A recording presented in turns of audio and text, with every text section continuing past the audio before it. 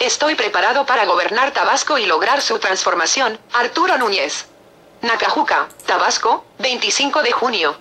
A seis días de llevarse a cabo las elecciones para elegir gobernador, Arturo Núñez Jiménez dijo estar puesto y preparado desde hace mucho tiempo para lograr el cambio verdadero y transformar para bien la vida económica, política y social de Tabasco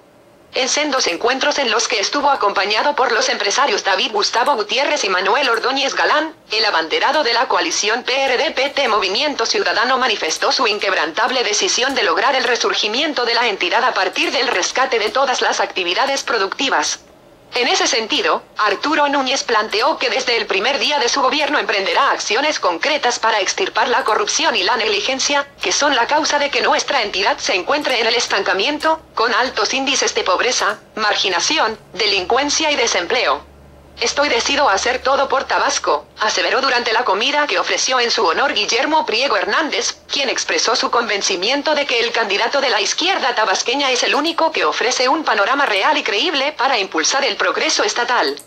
Estoy convencido de que todos los tabasqueños queremos salir de la terrible situación de inseguridad, pésimo índice educativo y vergonzoso nivel deportivo en la reciente Olimpiada Nacional Tabasco fue último y un campo devastado por las malas políticas públicas implementadas por la actual administración, señaló. Al respecto, Arturo Núñez destacó la necesidad urgente de sacar al Estado del profundo bache en que lo tienen los recientes gobiernos del PRI, los cuales ahora pretenden perpetuarse por seis años más y con ello seguir usufructuando el presupuesto público para beneficio propio y causando más agravios e injusticias.